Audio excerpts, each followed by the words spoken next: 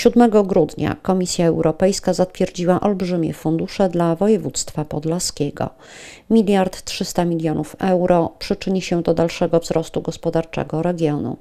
Program przewiduje wsparcie takich obszarów jak działalność badawczo-rozwojowa w przedsiębiorstwach, efektywność energetyczna, gospodarka niskoemisyjna, ochrona różnorodności biologicznej, dziedzictwo kulturowe, edukacja czy aktywizacja zawodowa i społeczna osób w trudnej sytuacji. Pierwsze konkursy planowane są w pierwszym półroczu przyszłego roku, poinformowała rzecznik prasowa podlaskiego marszałka. Program i przeznaczone na niego pieniądze mają przede wszystkim służyć realizacji misji, którą nazwaliśmy ambitne podlaskie, dodaje marszałek Artur Kosicki. Na badania i innowacje, ale też promocję podlaskiej przedsiębiorczości zaplanowano w programie procedowanym od marca bieżącego roku niemal 167 milionów euro. Prawie 360 milionów pomoże w przekształceniu obszaru województwa w region przyjazny środowisku.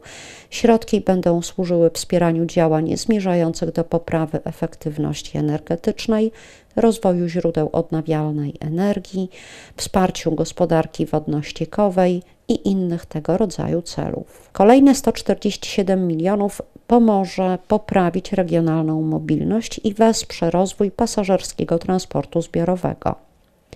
Ponad 127 milionów to inwestycje w przestrzeń społeczną, przedszkola, edukację szkolną, zdrowotną, rozwój turystyki. 40 milionów ma pomóc w budowie zrównoważonej mobilności miejskiej opartej na bezemisyjnym taborze i inteligentnych systemach transportowych aż 187 milionów euro zaplanowano na działania koncentrujące się na edukacji przedszkolnej, kształceniu zawodowym, aktywizacji osób zagrożonych ubóstwem i wykluczeniem społecznym, pomocy osobom z niepełnosprawnościami oraz tworzeniu domów opieki i realizacji programów zdrowotnych.